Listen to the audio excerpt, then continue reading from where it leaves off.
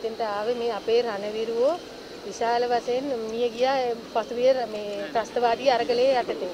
මේක අපි අපි සියලු දෙනාටම සිද්ධ වෙච්ච අපරාධයක්. මේක එක පුද්ගලයෙකුට විතරක් ගොනු කරන්න පුළුවන් දෙයක් නෙමෙයි. මේක මුළු රටවැසියින්ටම සිද්ධ වෙච්ච අසාධාරණයක්. වැඩිපුරම අපේ සිංහල සොල්දාදුව, මුස්ලිම් සොල්දාදුව, ඒ ද්‍රවිඩ ඒ සියල්ලම අය හිටියා එකට සොල්දාදුව වශයෙන්. ඒ ඔක්කොටම මේ අසාධාරණය සිද්ධ වුණා.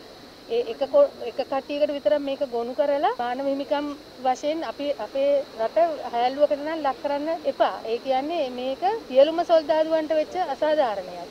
ඒ නිසා අපේ දරුවන්ට පියෙක් අහිමි වුණා මට සාමි පුරුෂයා අහිමි වුණා දෙමව් දෙමව්පියන්ට තමන්ගේ පුතා අහිමි වුණා ඒ විදිහට සියලු දෙනාට ඒ අසාධාරණය සිද්ධ වුණා ඒක ඊටමත් අතීතයට ගියපු දෙයක් දැන් අතීතයේ හාරවුස් අවුස්ස දැන් මේ මානව හිමිකම් මොකද්ද මේ කරන දේ ඇත්තටම පහුගිය කාලේ දැන් ඈත අතීතයේ සිටම අපිට අසාධාරණකම් සිද්ධ වුණා ඒ කාලේ මේ අපේ දැන් පුස්කොළ පොත් අරන් ගියා ඊළඟට හිටපු වෙද මහතුරු මරලා දැම්මා ඊළඟට මන්තර හොඳම මන්තර ශිල්පීන් හිටියා ඒ අයව මරලා දැම්මා ඊළඟට ඩෝසන් කියන නිලධාරියා අලි ඝාතනය කරා. අලි 3000ක් පමණ ඝාතනය කරා. එදා ඊළඟට තව මේ කුඹුරු අතුපිටි ඒව විනාශ කරා. ඒව මානව අයිතිවාසිකම් උල්ලංඝනය කිරීමක් නොවේද?